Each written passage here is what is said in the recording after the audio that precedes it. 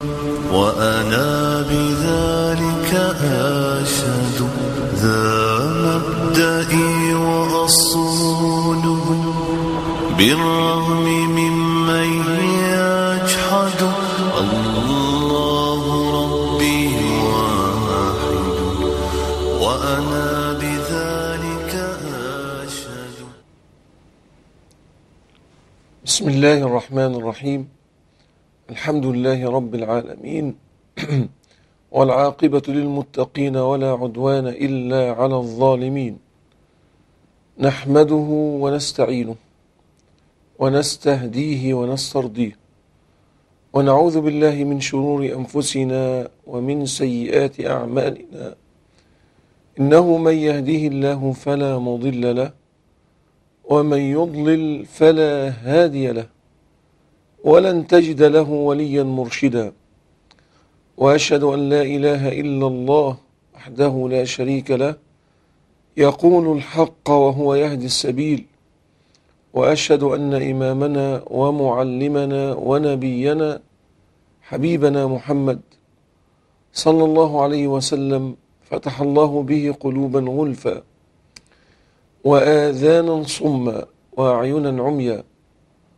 فصل اللهم على السراج المنير المبشر بجبريل صاحب الغرة والتحجيل المذكور بالحق في التوراة والإنجيل المعلم الجليل صل اللهم عليه وعلى آله وأصحابه أجمعين. ما زلنا مع أسماء الله نعيش. في حلقاتنا هذه بل وفي رحلتنا في كل حياتنا. فباسم الله نخلق وعلى اسم الله نموت. وباسم الله نبعث من قبورنا. وباسم الله نحاسب على أعمالنا. وباسم الله ندخل جنته. وباسمه ننجى من ناره. من ذكره سعد ومن لم يذكره فقد ابتعد. أسماء الله سبحانه وتعالى بقالنا بفضل الله سبحانه وتعالى من قبل شهر رمضان وقد تناولنا عددا من الأسماء الحسنى لله سبحانه وتعالى. إحنا ما زلنا بنعيش في حديث سيدنا النبي عليه الصلاة والسلام الذي قال فيه في البخاري إن لله تسعا وتسعين اسما. مئة إلا واحدة. عفوا. مئة إلا واحدة. من أحصاها دخل الجنة. من أحصاها دخل الجنة. العلماء أجمعوا وجمهور العلماء من محققي علم الحديث أجمعوا أن الإحصاء ليس العد ومن قال أن الإحصاء هو العد أدخل معه العمل بما فيها والفهم لها والإيمان بها والاعتقاد بها. لو جبنا واحد ملحد وحفظ أسماء الله الحسنى لعدها. ولذلك العلماء قالوا إن الإحصاء غير العد لأن الإحصاء لو كان هو العد لما أورده الله مع العد في كلمة واحدة. لقد أحصاهم وعدهم عدا. ربنا سبحانه وتعالى يأتي بكلمة في القرآن وفي كلامه سبحانه إلا له معنى. وإذا وردت في كلمة واحدة أو جملة واحدة كلمتان فدل على أن كل كلمة لها معنى ولها مدلول غير مدلول الكلمة الأخرى. لقد أحصاهم وعدهم عدا قلنا لو واحد ملحد عافانا الله وإياكم جاب الأسماء الحسنى وحفظها هل معنى ذلك من أحصاها؟ يعني عدها يخش الجنة يبقى الملحد ده يدخل الجنة وهو كافر بالله سبحانه وتعالى؟ هذا كلام مستحيل. ولا يقول به أبدا عاقل. لا يوجد عاقل على هذا الكوكب يقول بهذا الكلام. تكلمنا عن كثير من الأسماء الحسنى والنهاردة رصت سفينتنا مع اسم كلنا مفتقرون إليه.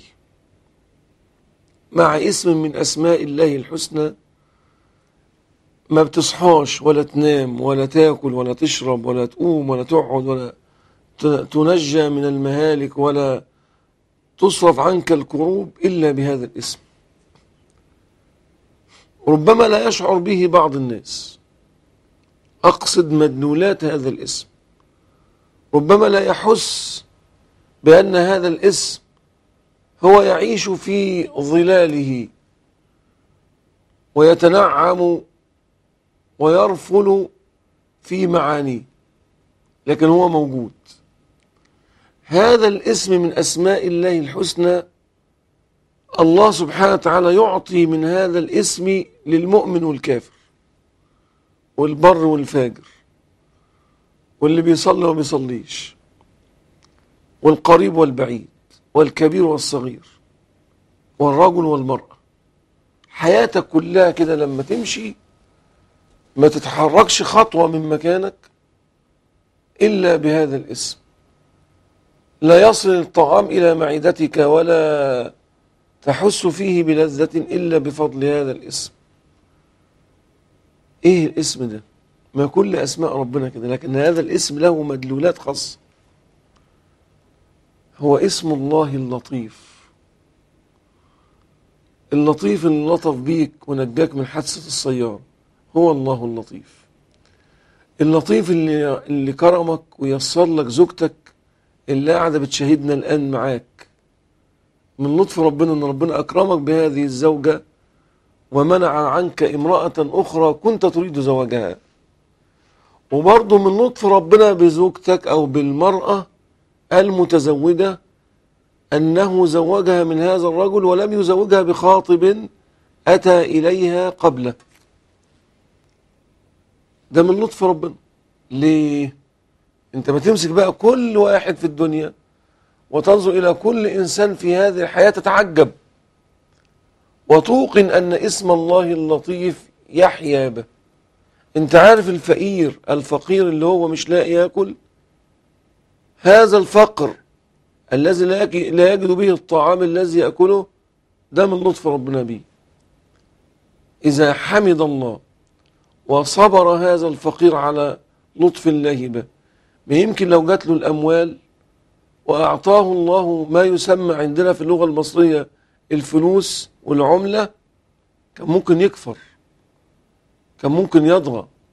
ومنهم من عاهد الله لئن آتانا من فضله لنصدقن. لما ربنا أعطاه من فضله بخلوا به بخلوا به وتولوا وهم معرضون. آه النموذج ده بيتكلم عن واحد معين. لكن دنيا الناس لما تمسك كده من أول ما نزلت هذه الآية بل من أول خلق سيدنا آدم إلى قيام الساعة تجد النموذج فلما آتاهم من فضله بخلوا به. لما ربنا أعطاهم بخلوا. ده في كل مجال من المجالات.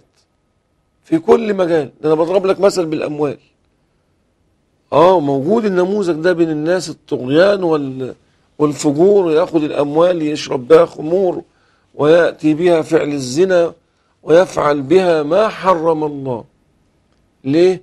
فمن لطف ربنا بهذا الآخر إن ربنا منع عنه هذا الأمر منع عنه هذا المال لم يعطيه هذا المال. ده من عظيم لطف ربنا بهذا العبد. ومن كريم امتنانه عليه. انت فتش بس حضرتك كده يا من تشاهدني الآن؟ فتش في حياتك وأنا أسأل نفسي معاك. كم من لطف يا ربنا أنزلته بنا؟ وكم من خير عميم يسرته لنا؟ وكم من شر صرفته عنا؟ أليس هذا من اسمك اللطيف؟ تخيل واحد بيبحث عن سفر ويدور على عقد عشان يوسع رزقه. ربنا ما يرضاش يديله. وإنسان آخر يمكن لا يبحث ولا يجتهد ويأتي إليه هذا الأمر. هذا من لطف الله سبحانه. كل اللي أنت شايفه في ساحة الأمة المسلمة من أول من المشرق إلى المغرب هذا من لطف الله. واللي يعتقد إن في شيء بيحدث في الكون كان المفترض إن يبقى في أحسن من كده ده إنسان محتاج يصحح العقيدة بتاعته يعني وإن شئت أن تغلظ له الكلمة يبقى كافر. اللي يقول إن كان المفروض ربنا يعمل كذا وكان ربنا المفروض ما يعملش كذا ده لا يسأل عما يفعل. لا يسأل عما يفعل وهم يسألون. هذا في حق الله وحده. هل أنت تختار لنفسك كل شيء في حياتك؟ ابنك اللي خلص الثانوية وكان بيذاكر ويجتهد. ربما اجتهد أكتر من بعض زمايله اللي هم جابوا أعلى الدرجات. ربما تعب أكتر من ربما أنت أنفقت عليه أكتر منهم. لكن ربنا كتب له ما يجيبش أكتر من 90% أو أقل من ذلك أو أعلى من ذلك بقليل. إن ربنا كتب له قدر معين. هو اخذ بالأسباب. واستفرغ الوسائل. لكن هو ربنا كتب عليه كده. فأنت لا تستطيع ابدا أن تخرج عن لطف الله. لكن لما ترجع قدام بعد عشر سنين بعد سنة وهناك أناس ربنا أبصرهم أعطاهم البصيرة بيعرف على في كل حياته إن كل شيء ربنا مديهوله هو من لطف الله. طب المرأة اللي تب... اللي بتزعل مع زوجها وتتبطر عليه تقول يعني كان يوم مش عارف إيه لما اتجوزتك. دي فاهمة معنى اسم الله اللطيف. الراجل اللي يقول يعني أنا كنت عميت وما اتجوزتكيش يقول لزوجته هكذا. ده إنسان عارف اسم الله اللطيف. اللي اللي يسخر ويتبطر على قدر الله اللي اعطى له بنات بس ده يفهم اسم الله اللطيف. اللي ربنا اعطى له أولاد ويعني وابتلاه بعقوق منهم ولم يصبر على قدر الله ده إنسان يفهم اسم الله اللطيف. اسم الله اللطيف اللي هو سبحانه وتعالى يعطيك بقدرته ما أراد كيفما أراد لأنه الملك الواحد الأحد.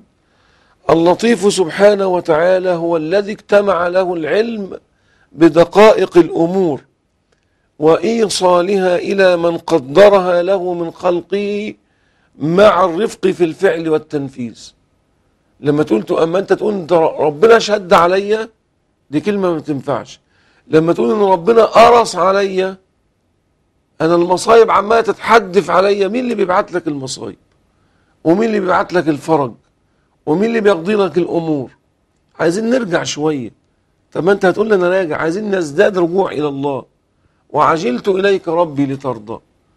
عايزين نرفع أكف الضراعه لربنا سبحانه وتعالى. النظرة القاتمة اللي موجودة في وجوه بعض الناس عايزينها تزال عنا. الغلظة الموجودة في بعض القلوب لازم تتشال. إنك أنت هتروح فين؟ ليس لك طريق إلا طريق الله. وليس لك إلا التسليم بما قدر الله. ويعلم إن ربنا ما بيعملش حاجة إلا وفيها خير. إن الله لا يصنع في كونه امرا إلا وفيه خير لك. فإياك إياك ثم إياك أن تتبطر على أقدار الله سبحانه. القرآن مليء مليء بالنماذج الحسنة ممن آمنوا واعتقدوا بلطف الله ومليء بالنماذج الأخرى ممن تبطروا على أقدار الله. أجيب لك من أول الفتحة إلى سورة الناس. وإن أردت أن ترى كهف القرآن الذي من دخله فهم معالي الأمور فلينظر إلى سوره الكهف. وإذا أراد أن يستجلي بعينيه وبقلبه بقوة بصيرته فلينظر إلى قصة العبد الصالح مع نبي الله موسى عليه السلام. العبد الصالح الخضر رضي الله عنه وأرضاه. والخضر اختلف العلماء فيه. هل هو نبي أم هو عبد من عباد الله الصالحين؟ على قولين. مال جماهير العلماء أن الخضر كان نبيا. واستدلوا بدلائل أخرى بادله كثيرة. وهناك من العلماء من ارتأى أنه لم يكن نبيا. أنا مقصدي إن أنا مش مش هنظر وأتكلم عن هل الخضر كان نبي ولا كان ولي. لا أنا بتكلم عن قضية أخرى. عايز ألتقط من قصة الخضر مع سيدنا موسى لطف الله بالعباد. لطف الله بالعباد. ده عمل ثلاث أمور الثلاثة مخ- مخالفة لبعضها كسر السفينة. هذا كسر وقتل الغلام وأقام بناء. سبحان الله. إن في الكسر إقامة. وفي القتل حياة. وفي البنيان هدم. معنى الكلام إيه؟ تكسير للسفينة منع الملك الظالم أن يستولي عليها فيموت أصحابها جوعا. ألم يكن في الكسر إقامة؟ وفي قتل الغلام حياة. كان أبواه مؤمنين فخشينا أن يرهقهما طغيانا وكفرا. وأما في الحائط فأراد ربك أن يبلغ أشدهما ويستخرج كنزهما. هم لما يكبروا الحيطة تقع الحائط اللي أقامه الخضر مع سيدنا موسى سيقع. وفي البنيان هدم. انت لما تنظر كده بعينك يعني تخيل ولو للحظة ان انت شايف الخضر. طبعا الخضر مات كما يموت الناس لا كما يدعي أهل البدع. الخضر مات كما يموت الناس. إنك ميت وإنهم ميتون. لو تخيلت اللحظة للحظة إن أنت موجود في موقف سيدنا موسى وشفت من الرجل فعل هذه الأشياء هل تتصور أن يدور بعقلك غير ما دار بعقل سيدنا موسى؟ بل ربما يدور بعقلك أكثر من ذلك. طب أنت زعلان ليه ما أنت في حياتك كسر فيه إقامة.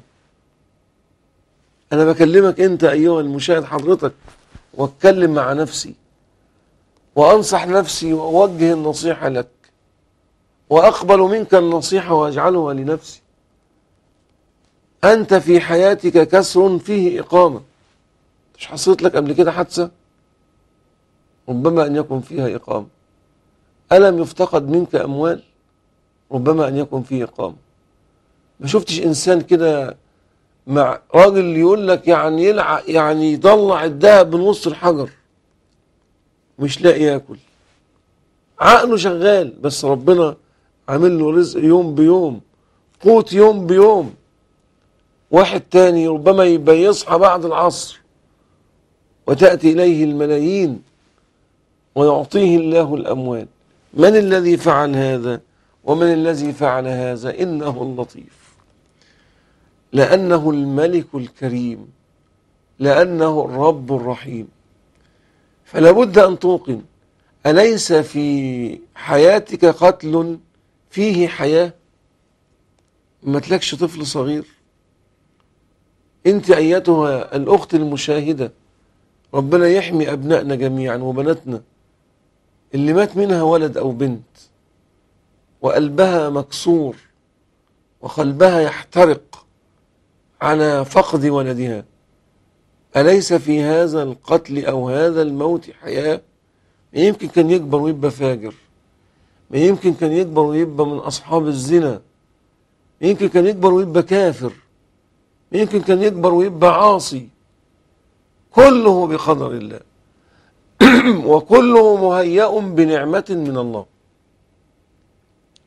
فالمطلوب من المسلم من كل المسلمين أنا أسلم لربنا باللي اداهولي مش معنى ذلك لو اللي قدامي حريق وأقول بقى أنا هفضل لحد ما ال- ال- النار تل- تلتهم جسدي لأن ده من لطف ربنا إن أنا واقف قدامها. لأ. الكلام ده مش صح. إنما أن تأخذ بالأسباب وتتوكل على من خلق الأسباب سبحانه وتعالى. تعلم أن كل شيء كل الأمور بقدر الله سبحانه. ما في شيء في الكون إلا وقدره الله سبحانه وتعالى. أنت نفسك ملكش في نفسك حاجة. اخرج كده من كل حول ومن كل قوة. لو أنت ماشي بعربيتك واتخبطت منك ده من لطف ربنا. لو ربنا سبحانه وتعالى نجاك وأنجاك في طريقك ده من لطف ربنا. لو ربنا كرمك في أولادك وجعلهم متفوقين هذا من لطف الله. ولو حدثت الأخرى هذا أيضا من لطف الله. معنى الاسم ده إيه؟ ما قلنا اللي هو إن معنى الاسم إن ربنا بيتصرف في مقادير العباد في مصالحهم بأدق الأمور من حيث لا يدري العباد. واحد فينا ما يبقاش عارف إيه اللي بيحصل له. وربنا بيعمل معاه ليه كده؟ لأنك لم تطلع على علم الغيب. الإمام ابن القيم لما تكلم عن اسم الله اللطيف قال كلام جميل جدا. قال وهو اللطيف بعبده. بيتكلم عن الله سبحانه وتعالى. بيصف اسم الله اللطيف. قال وهو اللطيف بعبده ولعبده. واللطف في أوصافه نوعان.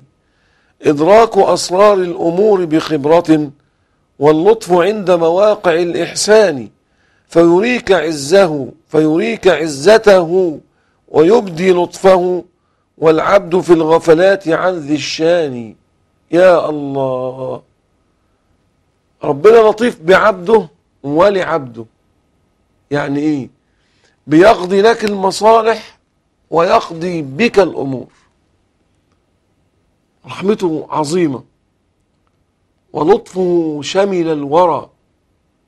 لا يدري بهذا اللطف إلا من أعطاه الله نورا في قلبه.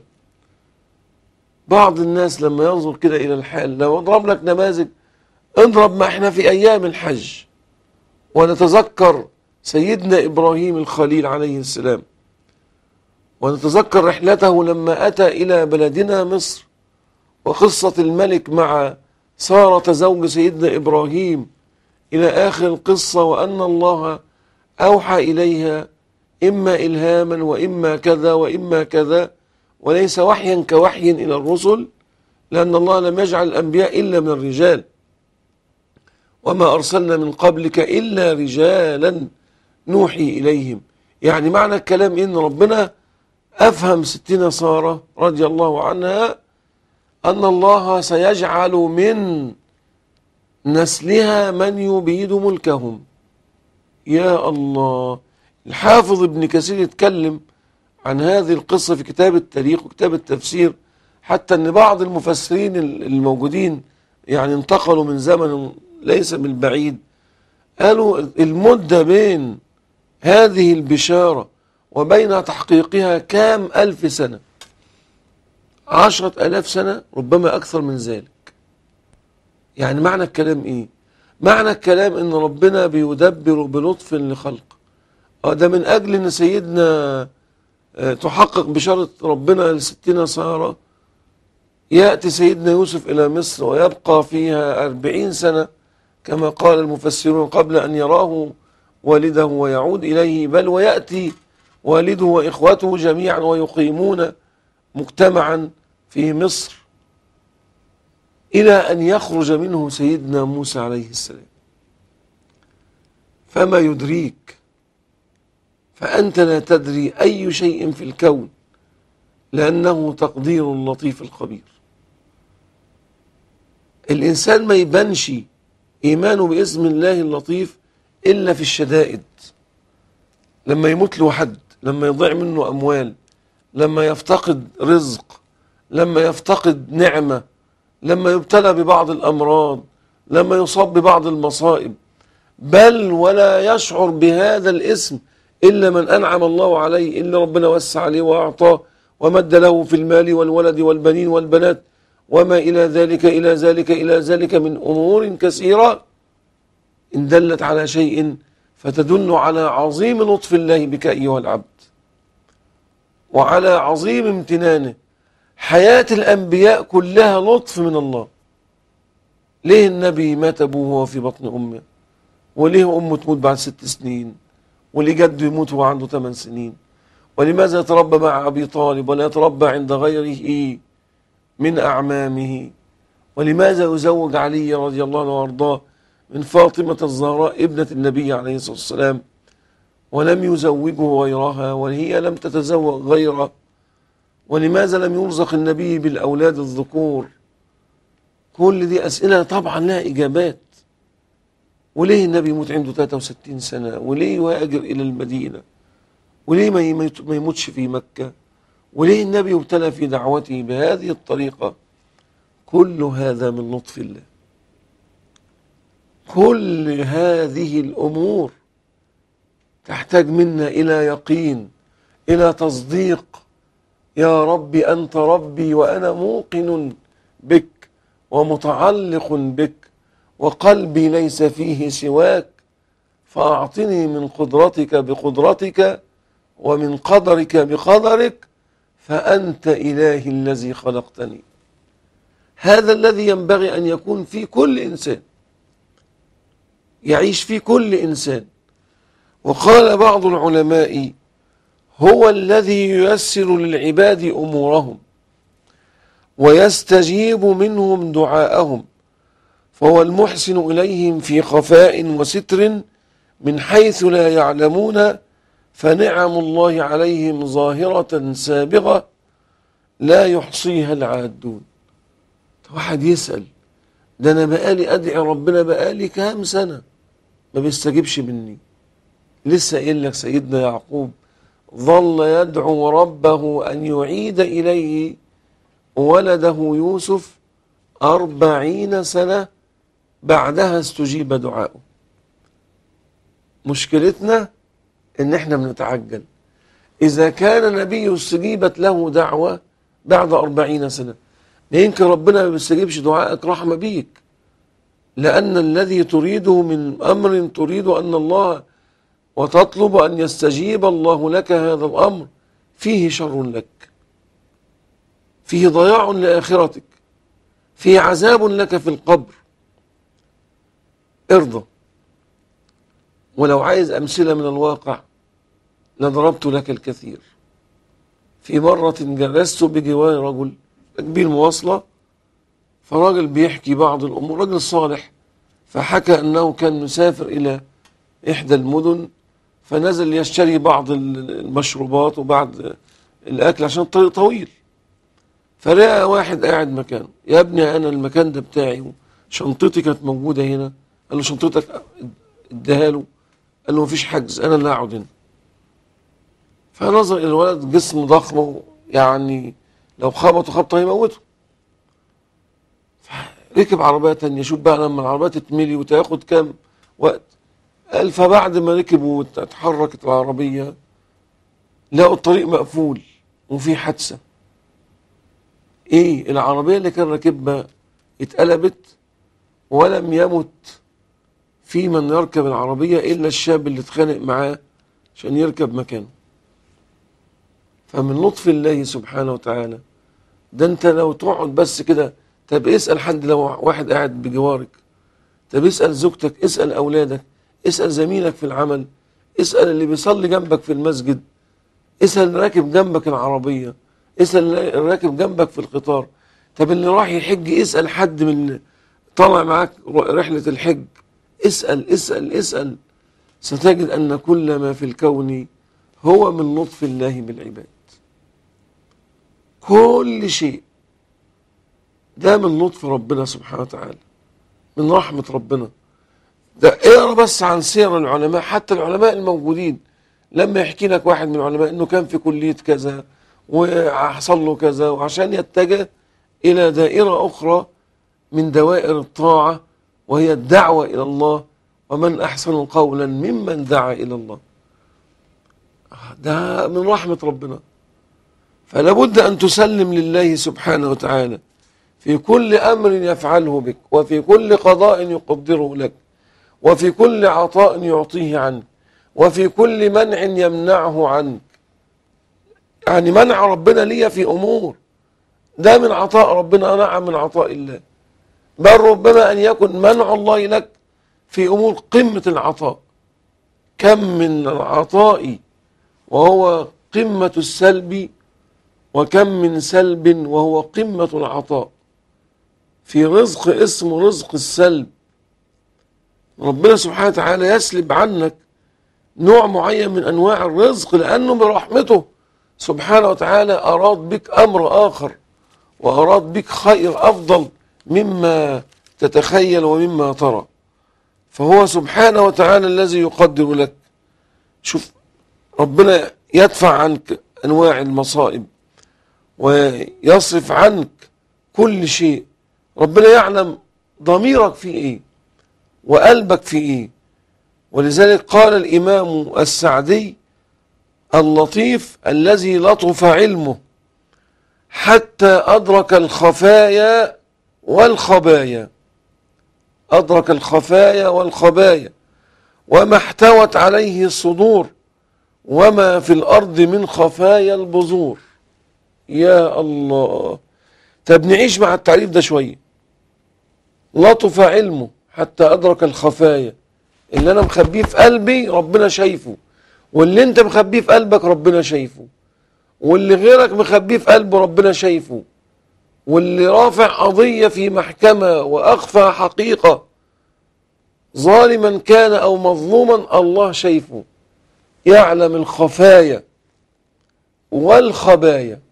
كل المستخبي ربنا عارفه. ما في بطن المرأة يعلمه الله. بل قبل أن يكن في بطنها يعلمه الله. بل ما أخفي في سابع أرض يعلمه الله. يعني معنى الكلام ده إيه؟ لو ربنا أراد لأمة الإسلام أن تكون أغنى أمة لأمر الأرض أن تخرج لها كنوزا.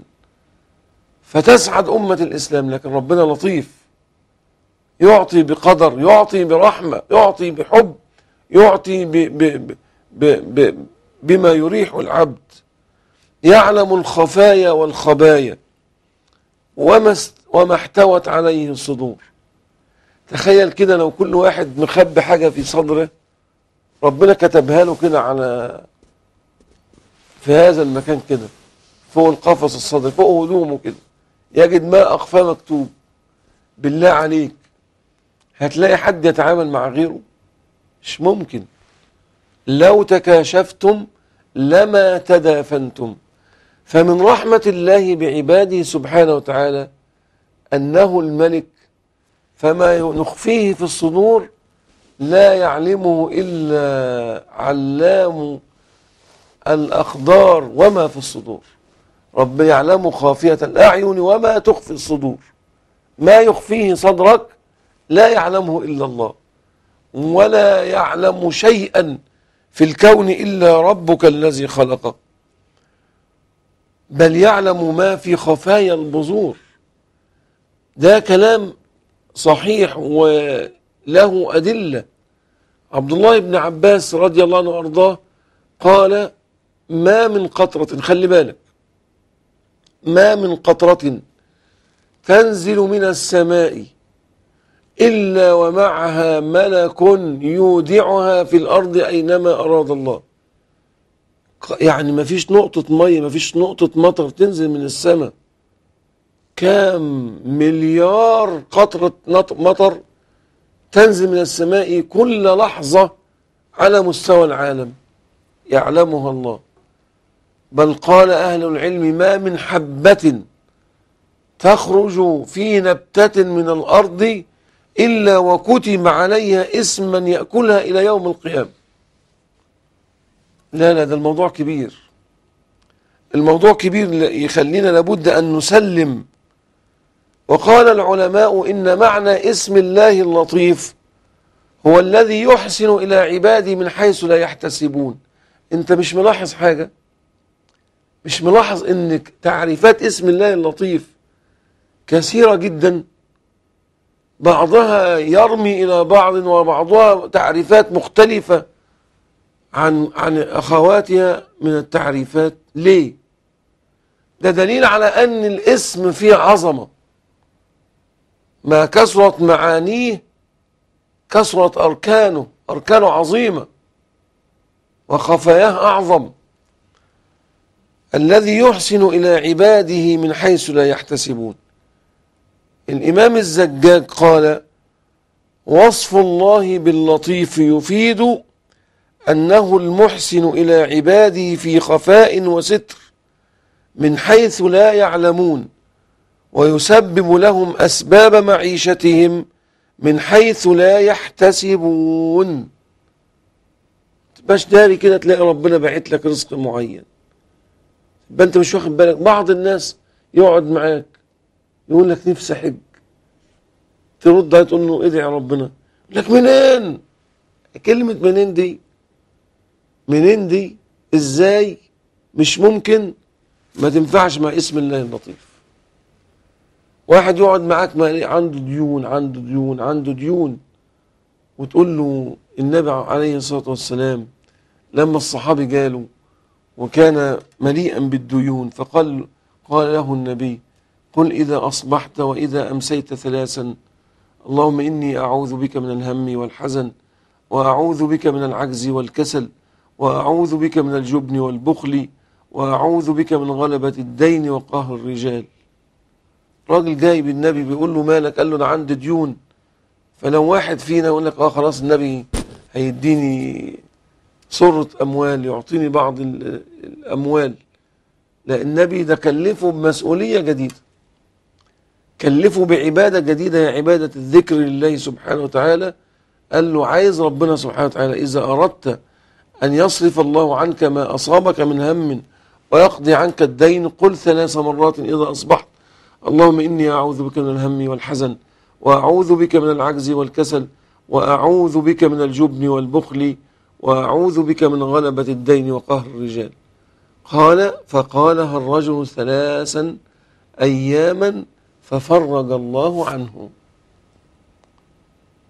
لما يكون عندك كرب لا تلجأ إلا لله لما يكون عندك ديون واحد تجلس معاه يقول لك قول يا رب يبعت لك سداد الديون وتبقى عندك شك أن الله يقدر على سداد الديون أنت مش مؤمن أو إيمانك ضعيف باسم الله اللطيف لما يكون عندك بنت تأخر زواجها أنت زعلان ليه؟ إيه اللي مضايقك؟ مش بدل ما تتجوز ولد فاسد فاجر شارب خمر زاني يبهدلها ويمشيها في نفس الطريق بتاعه أو تتطلق أو تعيش معاه في كرب وتحمل أنت الهم إيه؟ إيه اللي مضايقك؟ إيه اللي مضايقك؟ ابنك اتجوز وما خلفش ابنك خلص الكلية وما اشتغلش يمكن ربنا رحمه يا أخي ربنا رحمه من أمر لا تتخيله وأنت لا تدري به ما يدريك أن ما اختاره الله له آه تسأل ويبحث عن عمل واللي ينجبش يبحث عن أسباب للشفاء إن وجدت. لكن خلاص ده بحث مرة واثنين وعشرة وعشرين برضه ما يبطلش. لكن اعلم أن لطف الله بك هو الذي جعلك هكذا. فاحمد أنا قلت لك في من لحظات لو سألنا كل مشاهد بل لو عملنا حاجة اسمها استقصاء أو إحصاء ميداني تجد كل واحد يطلع لك مئات القصص مما يدمى لها القلب وتدمع لها العين. أحيانا انت تبقى في حياتك كده بتعمل شو تقول أنا بعمل كده ليه؟ بعد ما تعرف وربنا سبحانه وتعالى يرزقك بنتيجة هذا الفعل تعرف أنت كنت بتعمل كده ليه. فكله بلطف الله وكله بقدر الله سبحانه وتعالى. ولذلك ينبغي عليك كمسلم أن توقن بما قدره الله لك وأن توقن بما فعله الله لك. ده في تعريف تاني. بل ربما تعريف خامس وعاشر من أشد التعريفات حبا لقلبي. هذا التعريف حبيب إلى قلبي. ليه؟ قال اللطيف هو الذي لطف عن أن يدرك. بتقول إيه؟ هو الذي لطف عن أن يدرك. وهو لطف الحجاب لكمال الله وجلاله. فإن الله لا يرى في الدنيا لطفا وحكمة. ويرى في الآخرة إكراما ومحبة. إن الله لا يرى في الدنيا لطفا وإيه؟ وحكمة. ويرى في الآخرة إكراما ومحبة. ليه؟ ليه إحنا ما بنشوفش ربنا في الدنيا؟ لطف من الله. عقولنا ما تتحملش. مش ممكن عقولنا تتحمل رؤية الله في الدنيا. حديث الإمام مسلم إن بينكم وبين الله سبعين ألف حجاب من النور. لو كشفت واحدة منها حجابا منها لأحرقت سبحات وجهه ما بين السماوات والأرض. فمن لطف ربنا. سيدنا موسى لما سأل ربنا رب أرني أنظر إليك. لم يقل له يا موسى أنا لا أرى. قال له أنت يا موسى في الدنيا لن تراني.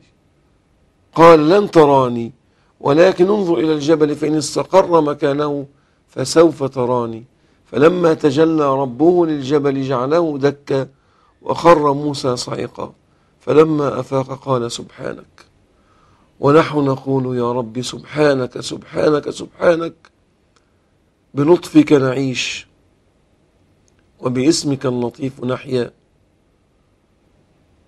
وفيه نرفل بنعم منك يا رب العالمين.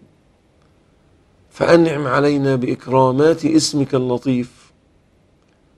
واجعله في حياتنا واقعا نراه ونحياه. إلى أن ألقاكم مع تتمة اسم الله اللطيف في حلقة قادمة إن شاء الله.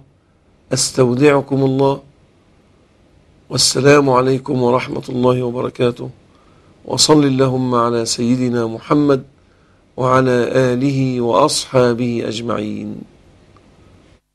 الله ربي واحد وأنا بذلك أشهد ذا مبدئي وأصوله بالرغم